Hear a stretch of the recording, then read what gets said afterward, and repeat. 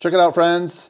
This is the new Ryobi HP 18 gauge brad nailer. The HP stands for high performance. So this is another version that you can select from. So they have the original one and the HP is a brushless motor where the other one is a brush motor. This has 60% more power and it shoots 350 more nails per charge. So what we're gonna do in this video primarily is just show you all the features of this right here. I'll also refer back to the other one a little bit, which I reviewed.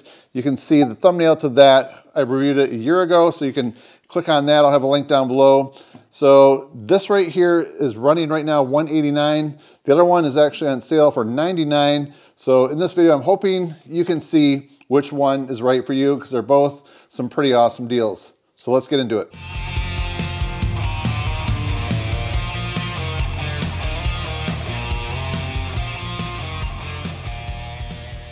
All right, so here's a piece of pine base shoe right here, some base molding. So we're going to nail this onto this 2x4 right here.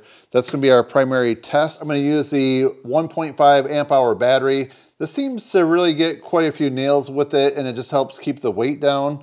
So if you're wondering the weight of this right here by itself, I have my scale out, five pounds, 9.7 ounces.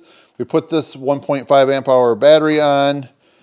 Then we are at six pounds, eight ounces. All right, so let's put a couple nails in this right here. And I am using inch and a quarter nails. This I would say is definitely like the go-to size right here. I've trimmed out a lot of homes and I think inch and a quarter really does a great job. So you might have some circumstances where you need to buy some shorter ones, but this will shoot up to two and one eighth inch nails. So my rule of thumb, if I'm gonna shoot a nail over two inches long, then I'm probably gonna go to my 16 gauge nailer. I have a Ryobi one that's gonna be reviewed very soon, so please subscribe to my channel. So let's go ahead and tack this down in a few spots. Just put it on there straight. Those are sitting right where I want. So there's a couple different ways to adjust the depth on here. So you have the air gauge up here that is one way of controlling the depth. So I'm not sure how well you can see it, but on this side right here, there's a plus. So if you push that all the way over there, that'll give you the maximum power. If you go over there to the negative, that is the least amount of power. So depending on the material you have, you can adjust the depth right here. This is a fine tune right here. The depth I like to have a nail is just below the surface. So if you want to get some of that putty, like you can get some colored trim putty. So you can rub it into that hole right there just a little bit and that will cover it up completely. So the best thing before you use this on each project is to try to test it in an area that's a little bit inconspicuous or maybe a scrap piece so that way you can get your depth adjusted properly. If you do have to, if you have some that are proud, you have to put them down a little bit, then you might need a nail set, that, and a hammer. And if you want to see what one of my future videos, we're going to take a look at this hammer right here. It's titanium. You just tap those in real quick. Doesn't take much. So my other video, I had a lot of comments, a lot of questions, very positive in nature. So some people were concerned that it might jam initially. So what I wanna do is just show you, we're gonna go, like in my other video, we have close to a full sleeve right there of inch and a quarter nails. All right, so there's a switch right here. There's a couple different ways that you can use it. So over here, this is sequential mode, so you have to pull the trigger each time after you press this down into the board. So you have to actually press this down and then pull the trigger. Let's say I hold the trigger right now and I press down, nothing happens. But check this out, if I switch this over there, then we're at contact actuated. So that's what I call bump mode. So if you're pulling the trigger, as soon as you press this down,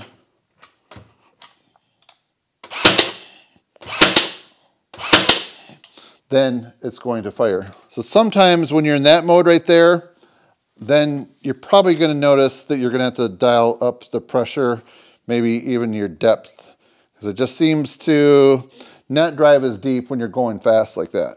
All right, how about we fire all these nails off right here in the other mode, and then we'll see if we have any jams. And then there's one other thing I wanna point out. So if you can see behind the trigger right here, there's a little button. So your middle finger if you pull on that, that will light up this little LED right here. So one thing that I noticed on this version right here, it only has a light on one side where the brushed motor, that one has a light on both sides, which I actually prefer better, but for the most part, I don't really see that big of a deal. The things that I'm working on, I usually have pretty decent lighting anyways. And this one light right here will definitely help you do the job. Okay, so let's just do a row right here really close to each other.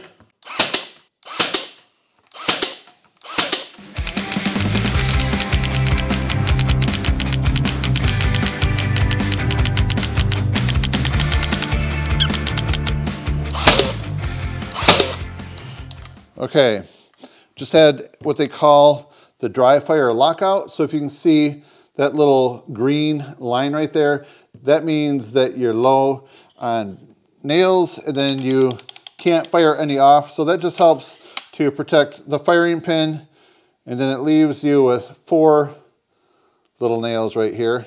So right there, those are all sitting perfect. All right, so check this out. I didn't do a straight line, but you can at least see the quality of the depth right there. They're all sunk in the way that you want. So after all that rapid fire, I don't notice this warm at all. Just want to point that out. So now we have some more nails, inch and a quarter. We're gonna reload these, piece of cake. We're ready to go again. All right, so now we're gonna switch over to bump mode. We're gonna try to do a straight line over here as much as possible. This one's probably gonna get a little bit more out of control. All right, so we're gonna start here and work our way back. Ready?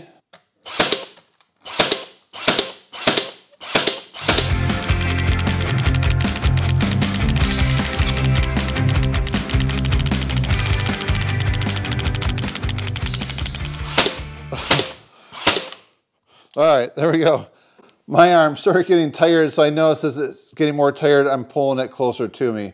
It's more of a struggle to keep it further out. Definitely work well. There's no jams. If you do have a jam, let me just show you.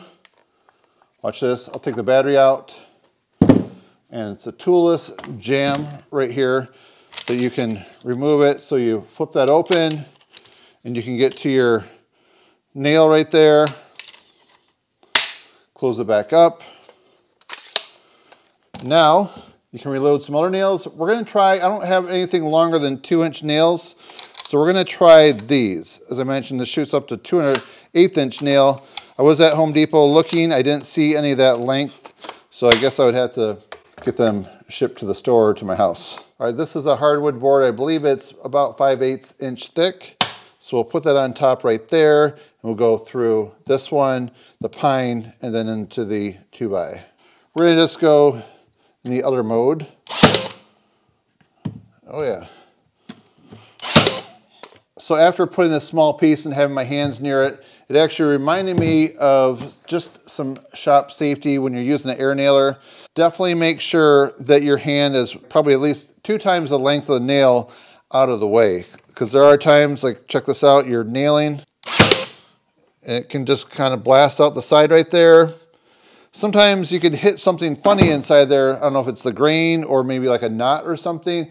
I've just seen where a nail will hit something and curve right out the side. Never expected to do that, but things like that can happen. So definitely keep your hands far enough away that you don't get a nail in one of your fingers. So as one other thing I was just thinking about pointing out, as you can see, I am running the smallest battery available, the 1.5 amp hour battery. So you can get a bigger battery like a 4 amp hour or even go up to the 6 amp hour right here. But from what I understand, there isn't going to be a power difference if you put this on versus this one right here.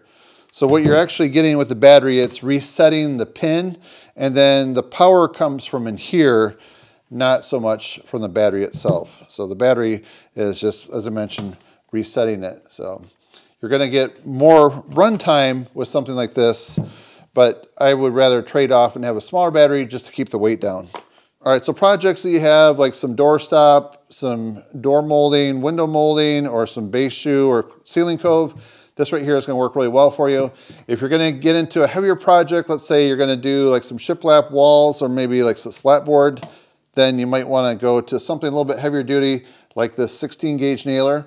So just so you know, the video review on this is gonna be coming out soon.